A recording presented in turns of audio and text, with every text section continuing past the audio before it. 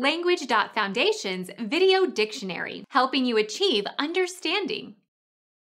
Human blood cells, usually just the red blood cells, that have the same antigens. Blood group. Become our student and get access to effective and free educational materials. Subscribe to our channel to become a part of our growing community and to learn English effectively.